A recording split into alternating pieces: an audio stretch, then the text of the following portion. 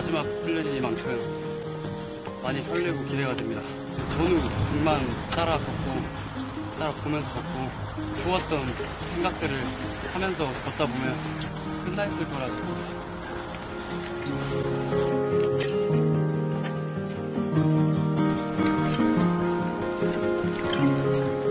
일단 어깨가 진짜 엄청 아프고 그래도 옆에 전우들이랑 같이 가니까 멈추지 않고 계속 갈 수 있었던 것 같습니다.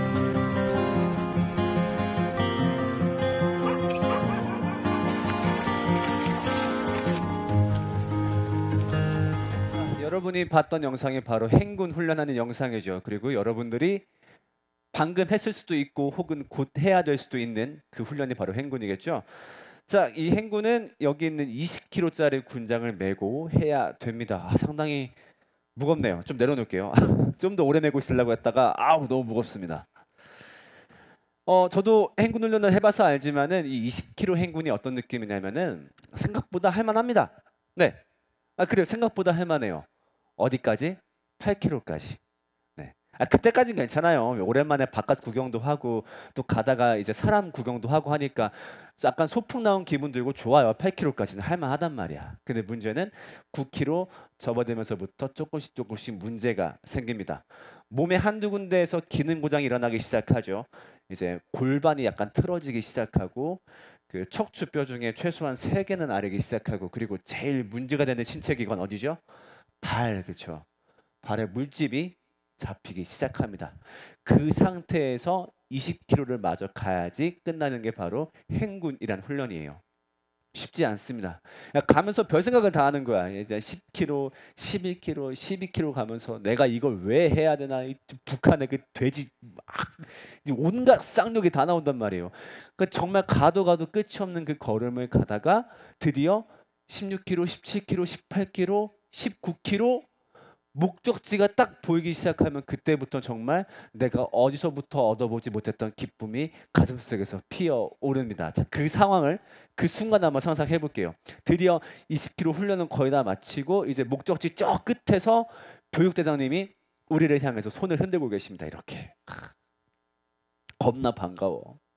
평소에는 약간 솔직히 얄미웠거든. 평소엔 되게 보기 싫은 얼굴이었었는데 오늘따라 그렇게 반가울 수가 없어. 심지어 약간 잘생겨 보여.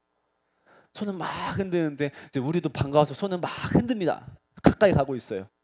근데 가까이 가면 갈수록 이제 표정이 보이는데 표정이 조금 이상해. 이게 사람이 반기는 표정이 아니야. 조금 이상하고 입으로는 이렇게 뭐라 뭐라 자꾸 하는데 뭐 모르겠어요. 일단 계속 가고 있는데 점점 가다가 드디어 이 교육대장님이 뭐라고 하시는지 들릴 만한 거리에 왔습니다. 그러니까 이분이 뭐라고 말을 하느냐?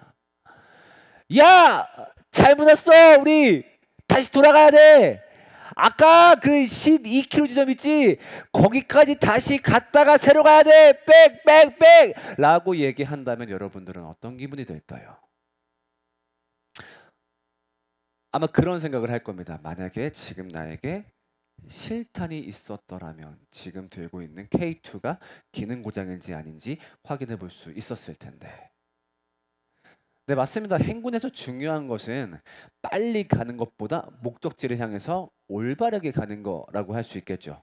아무리 우리가 빨리 간다, 열심히 간다 하더라도 목적지를 향해서 어긋나 있다라고 한다면 그 행군은 다 수포로 돌아갈 거예요.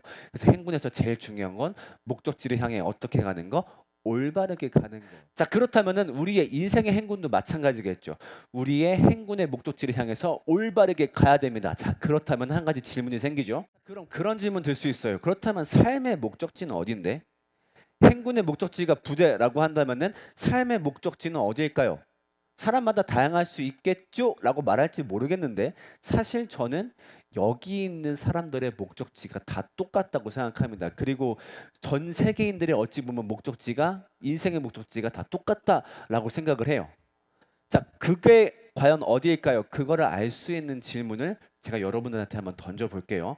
제가 지금부터 어, 네 가지의 물건을 얘기할 거예요. 이 물건들 중에서 지금 당장 갖고 싶은 거, 어, 지금 당장 갖고 싶은 거 딱 하나를 골라보는 겁니다. 자, 첫 번째.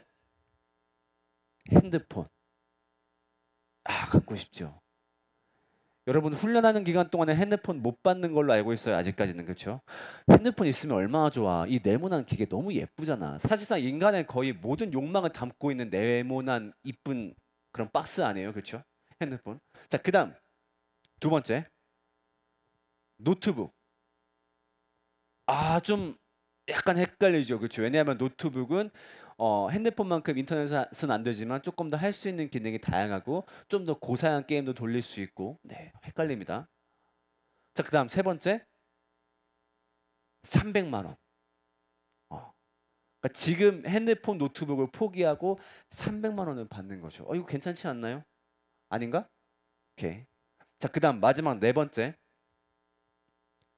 전역증. 자 갖고 싶은 거 하나 둘 셋. 아이 그치. 당연하지. 당연히 전역증이지. 말해 뭐해 그쵸? 아, 지금 집에 가는 것보다 행복한 게 어딨어. 아, 핸드폰이고 노트북이고 집에 가면 실컷 하는데 그치? 자 여러분들이 네 번째 전역증을 고른 이유는 뭐예요? 이 전역증을 얻었을 때 내가 제일 행복할 것 같으니까. 맞아요. 이 행복이 바로 우리 삶의 목적지예요. 모든 인생들이 마찬가지일 거예요. 우리는 모두 행복하고 싶어요. 자, 여러분한테 만약에 24시간의 자유 시간이 주어졌다라고 생각을 해봐요. 여러분들은 뭘 할 거예요? 여러분들은 이 24시간을 어떻게 하든지 내가 가장 행복할 수 있는 선택들로 채워 나갈 거예요. 예를 들면 뭐 있을까요? 네, 실컷 맛있는 걸 먹거나 왜 맛있는 걸 먹으면 내가 행복하니까 아니면 잠을 실컷 자거나 잠을 실컷 자면 내가 행복하니까 아니면 누군가는 여행을 가기도 합니다. 왜? 여행을 가면 내가 행복하니까. 그 다음에 누군가는 게임을 실컷 하기도 하죠. 내가 게임에서 이기면 티어가 오르면 내가 행복하니까. 맞아요. 우리는 우리의 모든 시간을 우리의 행복을 향해서 다 쓰고 있어요. 그만큼 행복이 우리 삶에서 가장 중요한 목적지니까. 자, 그런데 반론 이야기할지 모르겠어요. 어, 목사님, 가끔 가다가요. 우리는 행복하지 않은 일도 하는데요. 어, 맞아요. 예를 들면 뭐가 있지? 우리가 행복하지 않은 일? 뭐 있겠어? 공부하는 거. 니네 공부 빡세게 하다가 왔잖아. 유치원생 때부터 A, B, C, D 해가면서 초, 중, 고 12년간 너무 열심히 공부하다 왔잖아. 그렇죠? 그또 하기 싫은 것도 뭐 있어요? 일하는 거. 여러분 중에서 공부 말고 일하다가 온 사람도 꽤 많이 있죠. 어때요? 출근할 때마다 기뻐요? 안 기뻐요? 출근할 때마다 별 생각을 다 해. 가다가 차에 치이면 내가 합법적으로 쉴 수 있지 않을까? 별 생각을 다 한다고. 그런데 왜 이런 하기 싫은 일들을 해요? 따지고 보면 사실 이것도 행복을 위한 거죠. 지금의 행복이 아닌 미래의 행복을 위해서. 그렇죠. 미래에 내가 조금 더 안정적이고 지속적인 행복을 위해서 얻기 위해서 지금의 행복을 잠깐 동안 접어두는 거죠. 자, 그걸 생각한다면 결국 우리의 모든 24시간은 행복을 위해서 사는 거나 마찬가지예요. 그만큼 행복이 우리 삶의 목적지니까. 그러니까 우리 한번 다 같이 따라 읽어볼까요? 행복하고 싶다. 시작. 오케이. 한번 더 시작. 맞아요. 이게 우리 삶의 가장 큰 열망일 거야. 그러니까 결국 어떤 꿈을 꾸든 어떤 목적을 갖고 있든지 목표는 딱 하나야. 그러면 내가 행복할 것 같으니까. 나는 돈을 많이 벌고 싶어. 행복하니까 그러면. 나는 차를 갖고 싶어. 그러면 내가 행복할 것 같으니까. 나는 여친을 사귀고 싶어. 가족들과 평화롭게 살고 싶어. 아니면 내가 나중에 커서 금메달을 따고 싶어. 그러면 내가 행복할 것 같으니까. 맞아요. 이게 바로 우리 삶의 유일한 목적지겠죠. 자, 그렇다면은 이 행복을 위해서 아까 말했듯이 올바르게 가야 되는데 행복을 향해서 가는 길은 무엇일까요? 여태까지 사람들이 세 가지의 행복을 향한 길을 발견했어요. 그게 바로 뭘까? 첫 번째, 소유. 내가 원하는 것을 갖는 거. 자, 어때요? 여기 있는 거. 멋있는 스포츠카. 생각만 해도 어때? 아, 장난 아니죠. 이 중에 차 있는 사람들 몇 명 있을 거예요. 차 살 때 어디 가서 샀어? 중고차 매장 가서. 최대한 싼 거 있나요? 싸고 좋은 차 있나요? 그런 게 어딨어? 싸면 싸고 좋으면 좋은 거지. 그래도 어떻게든 찾아가지고 막 이렇게 차를 겨우 사는데 그게 아니라 저런 스포츠카를 내가 갖는다면 최신 전자제품을 갖는 거 매번 우리의 마음을 설레게 하죠. 아니면 멋있는 집을 갖는다면 참 이 소유라는 건요 우리를 어찌 보면 가장 직관적으로 직관적이고 빠르게 행복하게 만들어 주는 것 같아요. 그래서 굉장히 많은 사람들이 이 소유에다가 자기의 행복을 두고 있죠. 자, 그 다음에 두 번째. 돈 많이 벌면 끝이에요? 아니죠. 사람이 가끔은 돈보다 더 중요하게 생각하는 꿈. 그렇죠. 자기가 원하고 바라는 걸 이루는 것. 수익에 상관없이. 자, 나는 커서 태권도 금메달을 따고 싶어. 왜? 그러면 돈을 많이 버니까? 아니, 돈과 상관없이 그건 내 꿈이기 때문이야. 어, 그래서 사람들한테는 이제 꿈이란 게 꿈이란 게 굉장히 중요한 의미를 가질 때가 많은 것 같아요. 그래서 어떤 사람들은 돈을 다 벌고 나중에 은퇴한 다음에 꿈을 쫓기도 하시고 아니면 어떤 사람들은 애초에 돈을 포기하고 자신이 중요하게 생각하는 가치 뭐 그게 아까 말했던 어떤 성공이 되었든 아니면 어떤 직업적 꿈이 되었든 아니면 어떤 종교적 가치가 되었든 그 꿈을 이루기 위해서 자기 소유를 포기하는 경우도 있습니다. 자, 그 다음에 행복을 향해 가는 마지막 길은 뭘까요? 어찌 보면은 제일 우리가 좋아하는 거. 뭐지? 아 이거지. 사랑. 얼마나 좋아요 사랑을 나눌 때. 그러니까 여러분들이 바깥에서 여자친구 못 사귀었으니까 투디랑 사귀었던 거 아니야. 어떻게든 사랑을 하고 싶으니까. 그렇죠 근데 여기서 말하는 사랑은요 꼭 이런 연인 간의 사랑만 말하는 건 아니에요. 사람과 사람이 나누는 모든 관계 예를 들면 부모님의 사랑 가족 간의 사랑 친구 간의 우정 아니면 어떤 많은 사람들로부터의 인정. 아 누가 봐도 우리 똘똘이는 정말 좋은 친구야. 이런 것도 다 사랑에 포함하겠죠? 근데 이런 걸 얻었을 때 우리는 정말로 행복감을 느껴요. 자 그래서 이 세 가지 소유 꿈 사랑이 우리를 행복으로 가게 하는 길이고요. 어, 조금 더 이거 추격해서 이렇게 한번 얘기를 해볼게요. 행복의 공식이다라고. 그렇죠 이 세 가지를 얻었을 때 행복하다라는 건 거의 공식이니까요. 그래서 아마 지금 여기 모인 사람들 여러분들이 꾸는 꿈이 아마 이 세 가지 안에 무조건 들어 있을 거예요. 네, 저는 이 세 가지를 벗어난 어떤 삶의 계획을 갖고 있는 사람을 거의 못 봤거든요. 그러니까 내가 원하는 것을 갖겠다, 내가 바라는 것을 이루겠다, 아니면 내가 사랑하는 사람들과 행복하게 살겠다. 그렇죠? 왜냐하면은 이 세 가지가 바로 우리한테 행복을 가- 행복을 갖다 주는 공식이니까. 자, 그런데 문제는 뭘까요? 문제는 이러한 우리의 상식을 파괴하는 일이 종종 벌어진다는 거예요. 이 세 가지가 나를 행복하게 만들어 줄 거야. 그래서는 여기를 열심히 달려가야지. 이렇게 생각하고 있는 우리의 상식을 한 방에 깨버리는 사건이 종종 발생합니다. 어, 사실 굉장히 많은 사건이 있었지만 저는 그 중에서 제가 어, 2017년 12월에 들었던 사건을 얘기해 보려고 해요. 너무 충격적이었거든요. 그건 바로 어떤 한 아티스트의 죽음이었습니다. 어, 이때 저는 굉장히 개인적으로 많이 놀랐어요. 왜냐면은 저는 이 친구는 당연히 행복할 거다라고 생각을 했어요. 왜냐면은 나이는 그렇게 많지 않았지만은 아까 얘기했던 행복의 공식을 거의 완벽하게 이룬 사람이었죠. 자, 한번 얘기를 해볼까요? 소유. 자, 이 친구가 가진 게 많았을까요? 적었을까요? 아유, 뭐 많다 적다라고 표현할 수 있는 수준이 아니겠죠. 슈퍼차가 몇 대였을 것이고 집도 몇 채였을 것이고 최소한 이분이 우리처럼 편의점 가가지고 원 플러스 원 찾고 그러진 않았겠지. 정말 엄청난 소유를 갖고 있는 분이었어요. 자, 그 다음에 이 친구가 이룬 꿈을 한번 생각을 해볼까요? 자, 2015년에 중앙일보에서 조사한 결과인데 우리나라의 아이돌 지망생이 총 몇 명일까요? 나 나중에 아이돌 될 거야. 자, 힌트를 좀 주자면은 우리나라 국군 장병, 육, 해, 공, 특수부대 다 합쳐가지고 뭐 장교, 병사 다 합쳐서 인구가 어, 60만 명이라고 해요. 그러니까 국군 장병 수가 그거 감안했을 때 우리나라에서 아이돌을 꿈꾸는 사람은 몇 명일까요? 100만 명이래요. 100만 명. 야, 우리나라 국방 인력보다 많죠. 자, 근데 그 중에서 데뷔를 하는 사람은 330명 정도라고 해요. 그리고 그 중에서 한 번이라도 음원 차트 아니면 뭐 이제 TV 방송 그 순위에서 1위를 경험하는 사람의 숫자는 한 명이 될까 말까 하답니다. 자, 그렇다는 건 내가 아이돌로 데뷔해서 1위를 했어요. 그랬다는 건 이미 100만 명이 꾸는 꿈을 이루었다는 얘기겠죠. 자, 그런데 이 친구는 그런 수, 수준을 훨씬 넘어섰죠. 1, 1위를 뭐 한두 번 한 게 아니라 굉장히 여러 번 했었고 연예인들에게도 인정받는 연예인.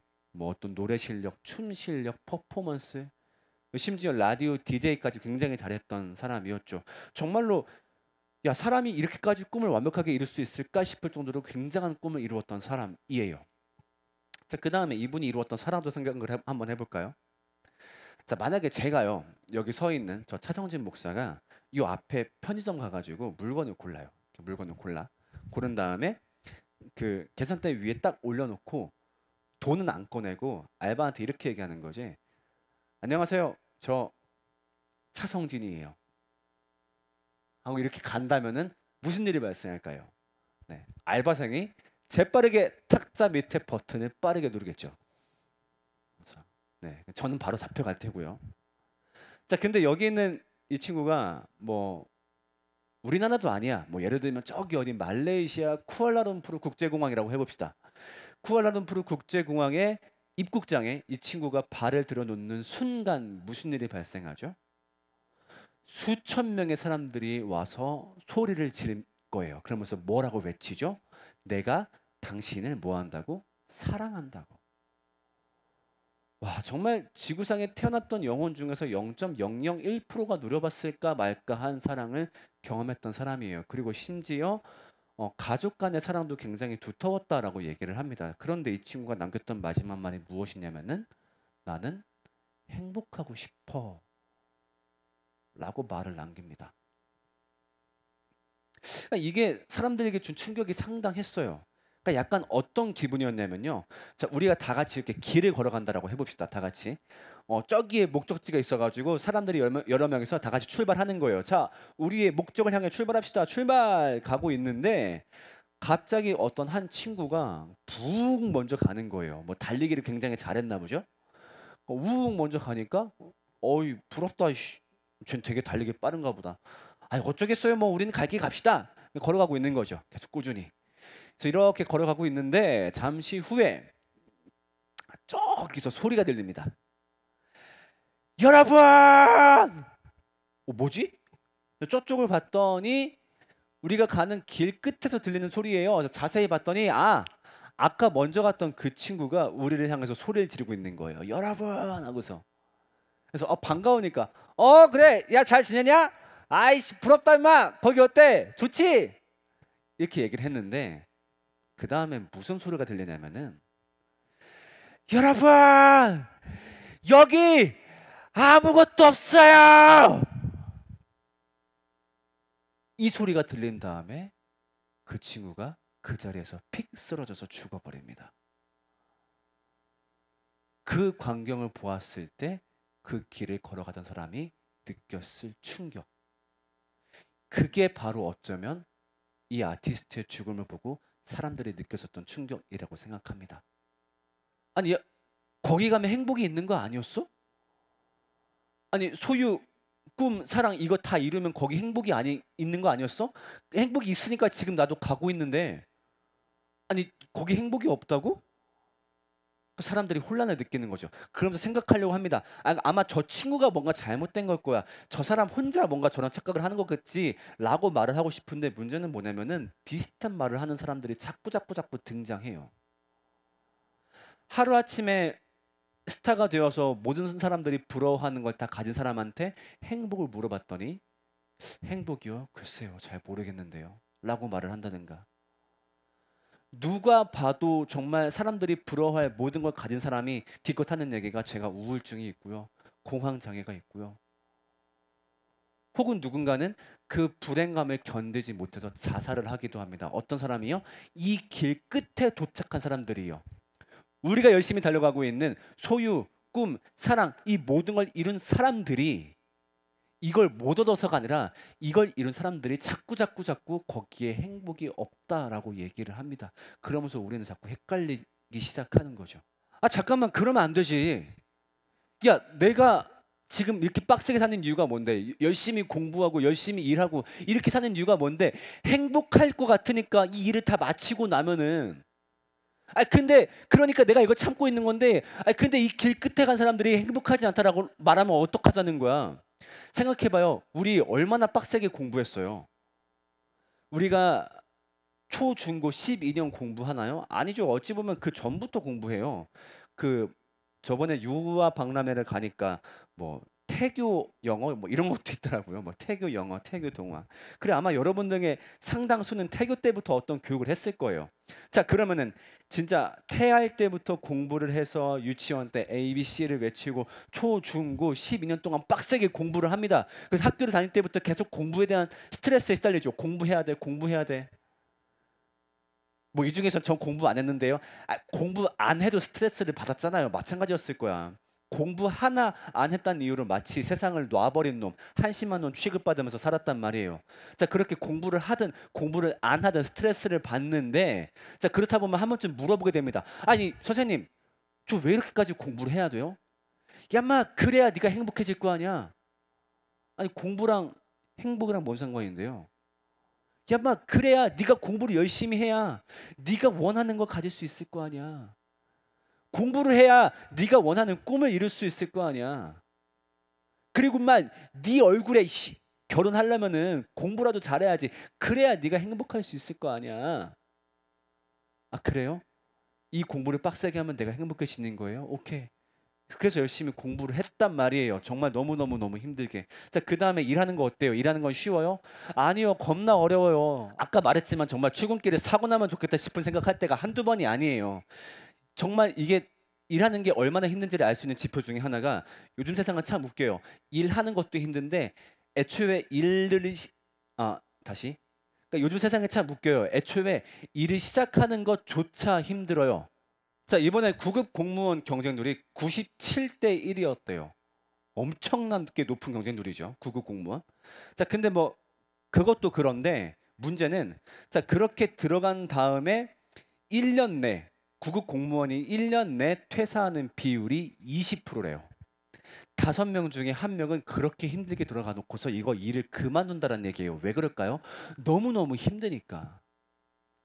내가 97대 1을 뚫었지라고 생각할 수 있는 어떤 그런 행복감을 잊어버릴 정도로 일이 너무 힘드니까 다섯 명 중에 한 명이 그걸 그만둔다는 얘기예요. 얼마나 힘들다는 얘기예요. 그럼 나머지 네 명은 행복해? 아니죠. 그냥 버티는 거죠. 우린 그렇게 빡세게 일을 하면서 살아온단 말이에요. 왜? 그러면 내가 행복할 것 같으니까 이 일을 통해서 내가 소유, 꿈, 사랑을 이룰 수 있을 것 같거든. 그래야 내가 행복할 수 있을 것 같거든. 그런데 이걸 가진 사람들이 이걸 나보다 더 완벽하게 이룬 사람들이 행복하지 않다라고 말을 한다면 그때부터 굉장히 혼란스러워지는 거죠. 아 잠깐만 어떡하지? 이게 끝에 행복이 있는 거 아니었어? 나 어떻게 해야 돼? 근데 보통은요 이 혼란이 오래 가진 않아요. 그냥 부정하고 그 길을 계속 갑니다. 왜냐면 뭐 내가 다른 데서 뭐 배운 게 있는 것도 아니고 행복의 길을 내가 새로 뭐 배운 적도 없었고 하다 보니까 뭐 내가 알고 있는 게 이거밖에 없는데 어떻게 이렇게 걸어가면서 그런 목소리들을 부정하는 거죠. 에이 아닐 거야. 행복하지 않다고 네 배가 불렀거나 뭔가 네가 잘못했겠지. 그건 아닐 거야. 그래서 그 기사들 보면 그러니까 뭔가 우리가 봤을 때 굉장히 많이 가진 사람들이 행복하지 않더라고요. 뭐 예를 들면 꼭 돈이 많다고 행복하지는 않더라고요. 이런 인터뷰한 기사의 댓글들을 보면 정말 살벌하게 욕이 달립니다. 배가 쳐 불러가지고 막 이렇게 댓글 달리죠. 그걸 부정해 버리는 거죠. 아니야 그런 말 하지 마. 네가 잘못한 걸 거야. 원래 거기 가면 행복해 정상인 거고 네가 뭔가 잘못된 걸 거야. 그러면서 헛된 희망을 가지기 시작합니다. 나는 다를 거야. 나는 이 길을 계속 갈 거고 이 길 끝에서 나는 행복을 찾을 수 있을 거야. 어, 난 그렇지 않을 거야. 라며 헛된 희망을 품기 시작합니다. 이걸 잘 알 수 있는 곳이 어디예요? 저는 복권 판매소라고 생각이 들어요. 어, 로또 1등에 당첨되면 불행하다라는 것은 거의 상식입니다. 굉장히 많은 사례와 연구 결과가 이것을 말해주고 있지요. 자, 그런데도 오늘은 그 로또 판매점에 사람이 붐빕니다. 그래서 제가 한 번은 학교 과제를 하려고 인터뷰를 해봤어요. 자, 혹시 지금 로또 구입하셨는데 몇 등 당첨 희망하세요?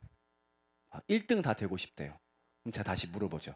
아, 근데 그 로또 1등 당첨되면 오히려 불행해졌다라는 얘기가 많이 도는데 거기에 대해서는 어떻게 생각하세요?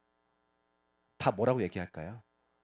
에이 그거는 어, 그거는 뭐 그 사람들이 잘못했을 거고 아이, 저는 다를 거예요. 저는요 그 사람들처럼 막 욕심 부리고 이런 게 아니라 제가 당첨되면 기부도 좀 하고 주변에 나누기도 하고 한 번에 다 안 쓰고 뭐 어떻게 저금도 하고 그렇게 얘기를 하면서 희망차게 집으로 가죠. 여태까지 1등 당첨됐던 사람들이 그거를 몰랐을까?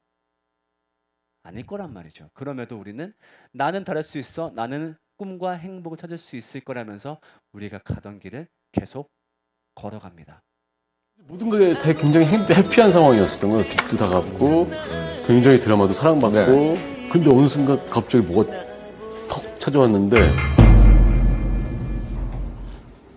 어떤 느낌이었냐면 이 세상에 아무도 없고 나 혼자 화장실만한 요만한 공간에 갇혀서 이렇게 서 있는 것 같은 느낌이 계속 드는 거예요. 음, 어, 왜, 왜, 왜 그런 거죠?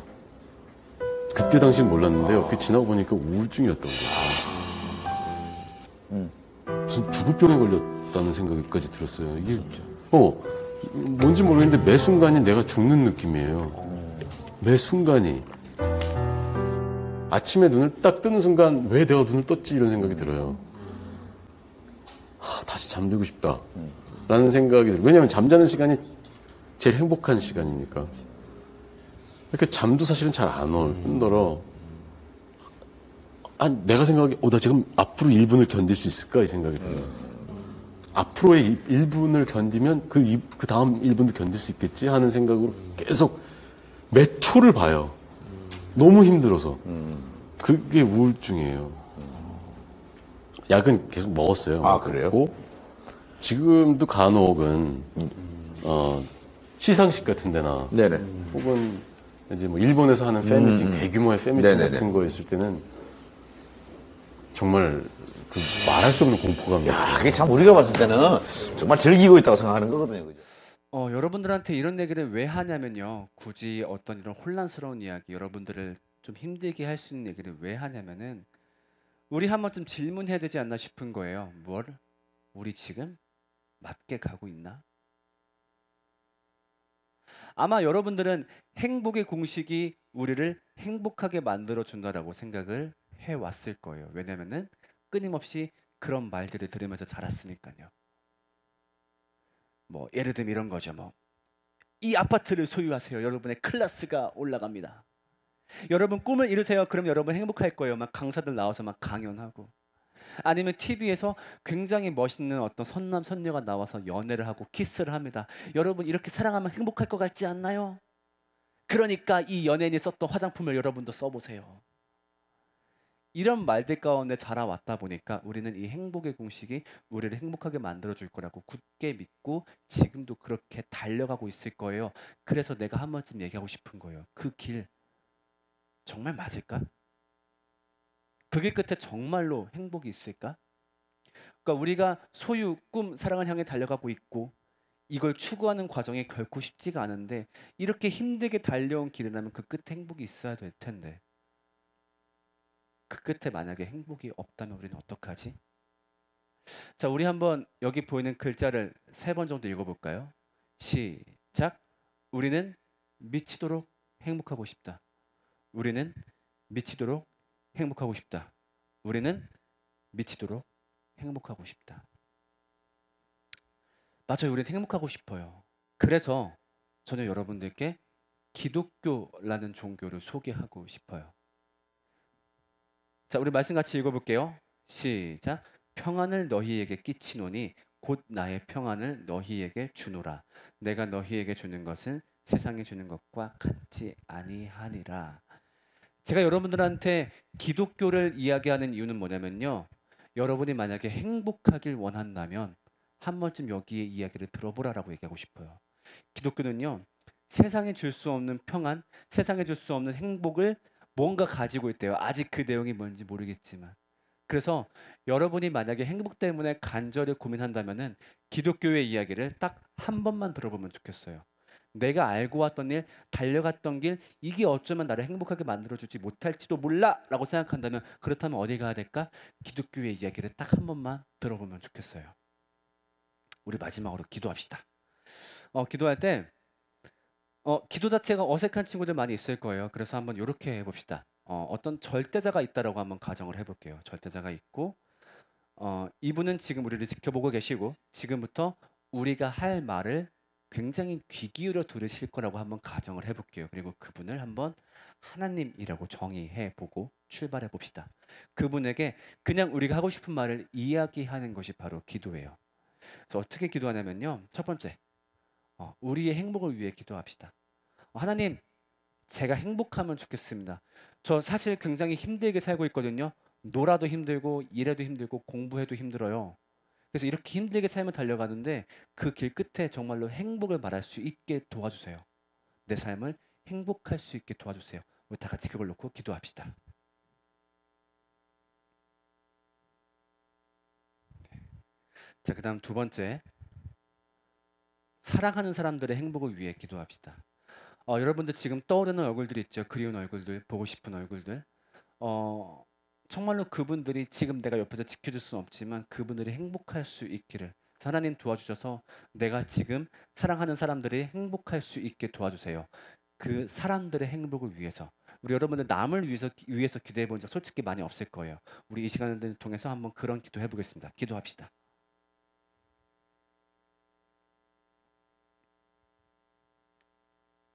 자 마지막으로 세 번째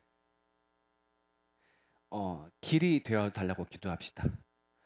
어, 우리 아까 보았지만 우리 삶의 행군은 행복을 향해서 가고 있다라고 하는데 저 앞에 서 있는 저 목사가 내가 그동안 걸어왔던 길을 부정해 버렸어요. 여기 끝에 행복이 없을지도 모른대요. 그렇다면은 우리는 어디로 걸어가야 될까요? 혹시 하나님 당신이 내 삶의 길인가요?